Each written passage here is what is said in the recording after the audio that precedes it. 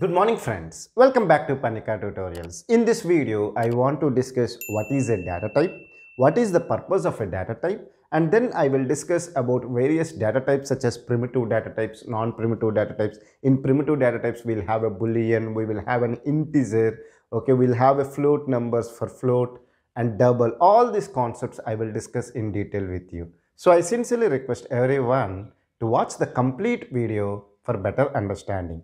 First, let me discuss what is the purpose of the, the data type. In the last video, we have discussed about a variable. A variable can store the value or even we can say that a variable is a name given to the memory location. In that memory location, you are storing some value.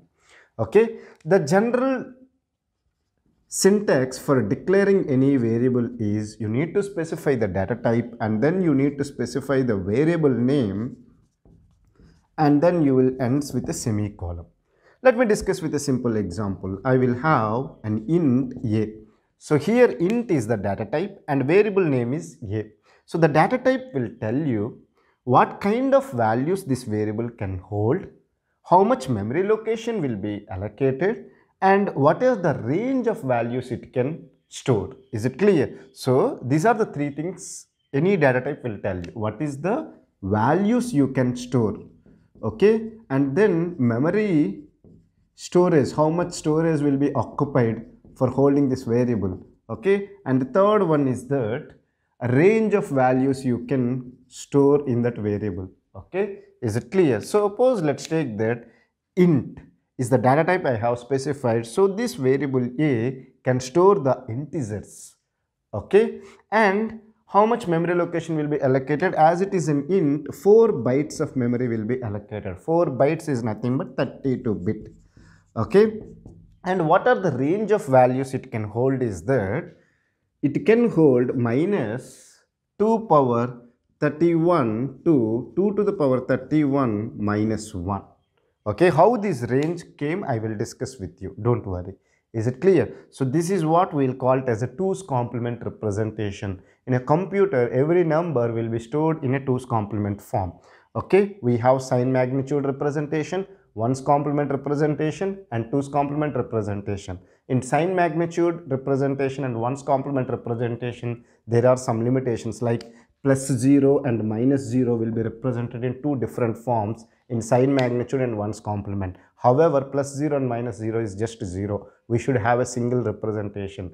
To overcome that one, uh, people have introduced the 2's complement representation. So, the negative numbers and positive numbers will be stored in the 2's complement form. However, the positive number can be represented in sign magnitude 1's complement, 2's complement. The representation will be same only for the negative numbers all these three representation will vary. So in a computer we or in a memory we will store any negative number in the 2's complement form.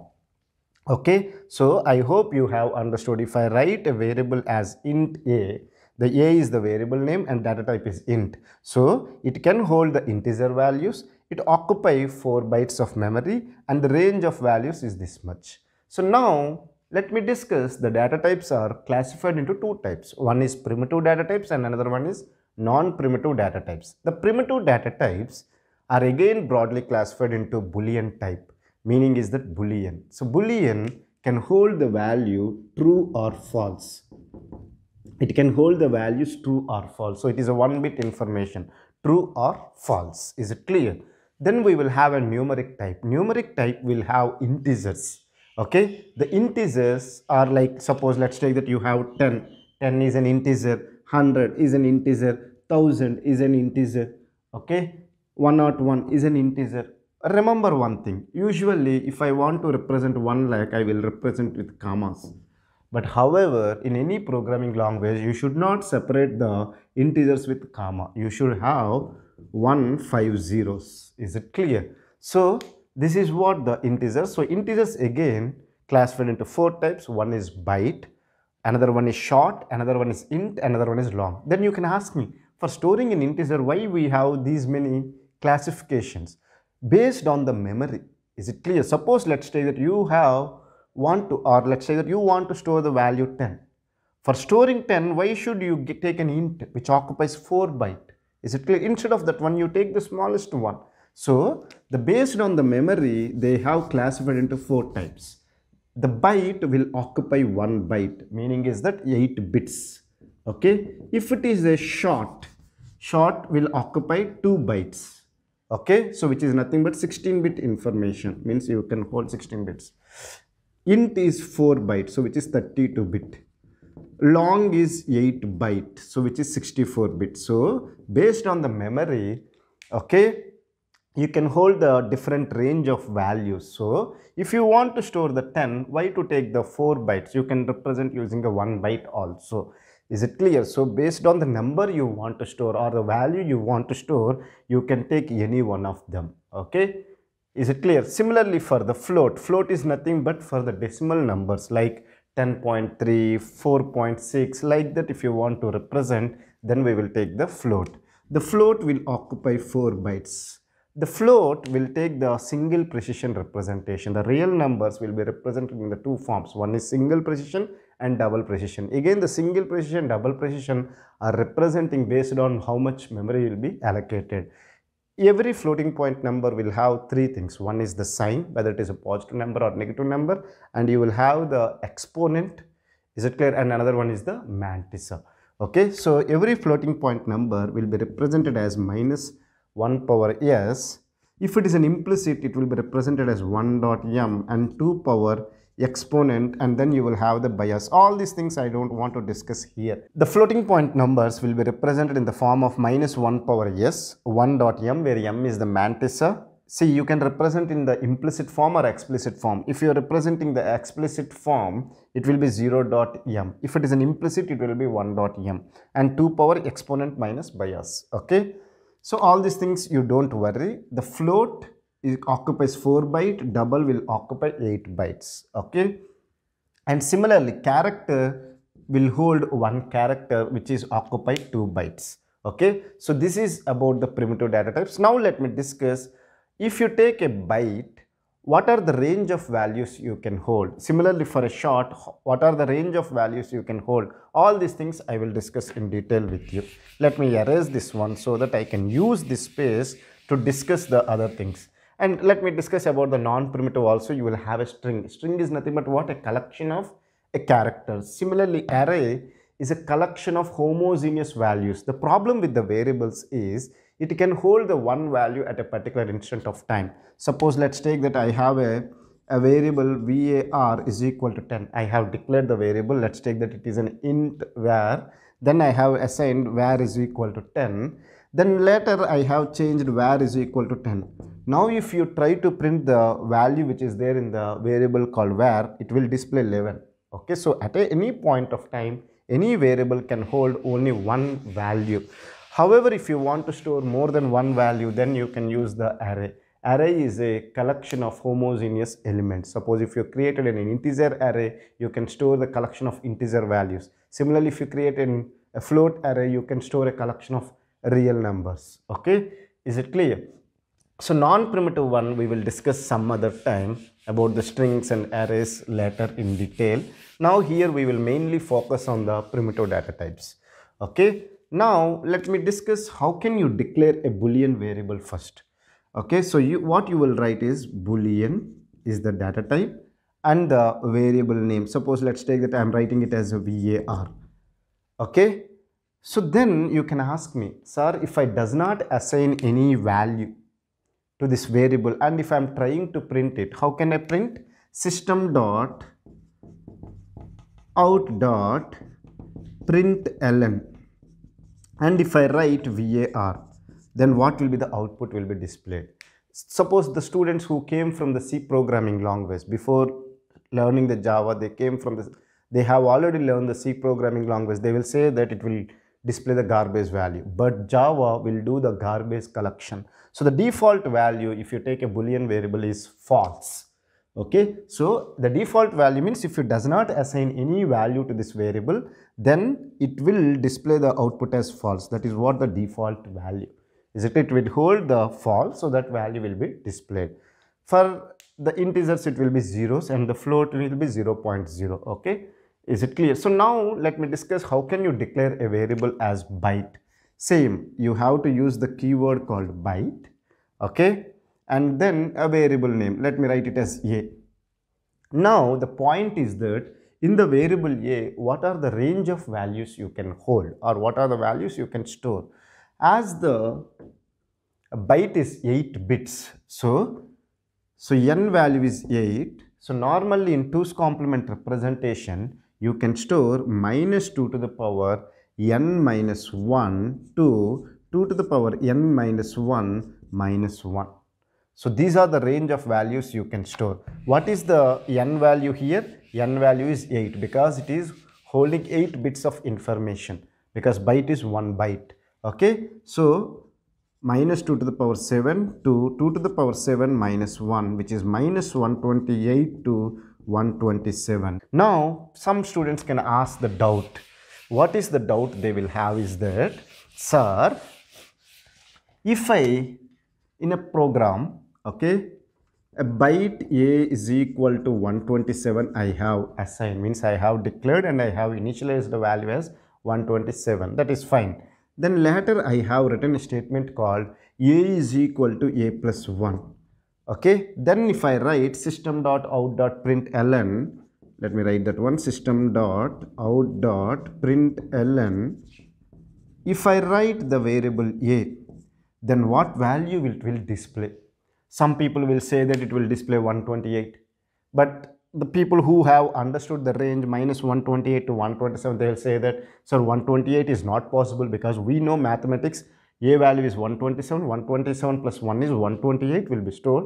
But 128 you cannot store because just now we have discussed minus 128 to 127. So, it can hold the maximum number is 127 then how it can store 128 it is not practically possible so some people will say that it is error but you need to understand what value it will display and what is the reason for that one. Now look at here. How the values will be stored is that it holds the if it is a byte a variable a it have the values from minus 128 to 127 so how it will hold is that 0 1 2 3 so on up to let's take that 127 then it will have minus 1 minus 2 minus 3 minus 4 minus 5 minus 6 so on up to minus 128 you will have minus 127 here here you will have 126 like that now let me take this example. I have assigned byte a is equal to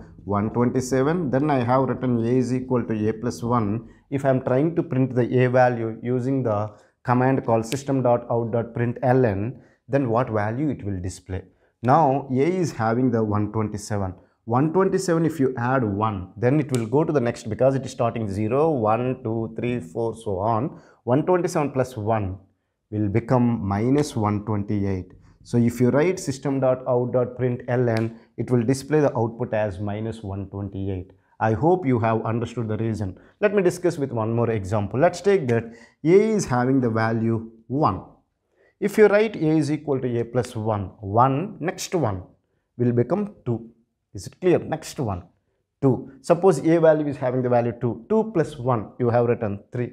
Suppose if you have written a is equal to some 5 and you have written a plus 2 then 6 7 then a will have the value 7 is it clear? So it will go like this clockwise direction. So as initially you have kept a is equal to 127 127 plus 1 will be minus 128 my question is sir if byte is having the value is 127 i have written a is equal to a plus 2 then what will be the output? If, if I write system.out.println what will output it will display 127 plus 2 plus 1 is minus 128 plus 2 is minus 127 so in this case it will display the output as minus 127 I hope you have understood the this point. Is it clear? If you understand this point you can answer several interview questions related to the data type.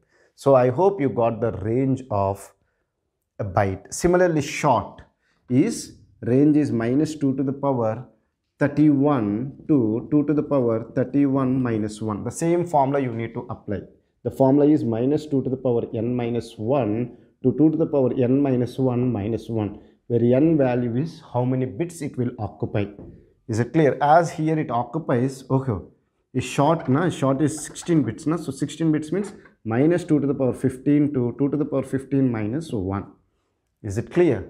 If it is int, as it holds 4 bytes, so 32 bit, so you need to substitute the n value as 32 so that you will get the range. Similarly long also will get the ranges. So based on what value you want to store, accordingly you will declare the variable with corresponding data type. Similarly, the float is also occupy 4 bytes and double will occupy 8 bytes and character will occupy 2 bytes. How can you declare a character?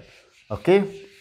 So you need to write here char some variable a is having the character called b okay?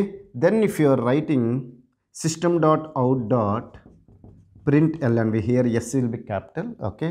I think by this time you would have understood. System dot out dot print ln then a if you write it will display the character called b. Is it clear? Now you can ask me sir in memory how the b will be stored you said that in memory everything will be in the form of ones and zeros okay how the b will be stored for each character, you will have a corresponding ASCII value, which we'll call it as American Standard Code, A for America, S for Standard, C for Code, Information Interchange. Okay, so each character, suppose let's take that it is a small a. Small a will have the 97, then small b will have the 98, small c will be 99. If it is a capital A, it will have 65, capital B 66. Like each each character has its corresponding decimal number. That decimal number, you know, I think you may know how to convert into a binary number. Let me discuss for the 97, okay? 97, how it will hold in the memory. 97, you need to convert into a binary number because 97 is a decimal number or it is a base 10 number. So how can you convert is you need to divide by 2, okay? You will have 48 and then you will have the remainder 1. So here you will keep the quotient and here you will keep the remainder. Always the remainders you will get zeros and ones. If any number if you divide by 2, you will get the remainders as 0 and 1. If you divide any number by 3, you will get the remainders as either 0 or 1 or 2. Okay, then let me make it little bit fast.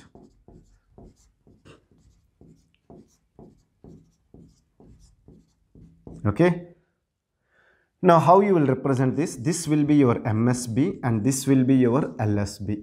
So 97 how you will represent is that, let me erase here.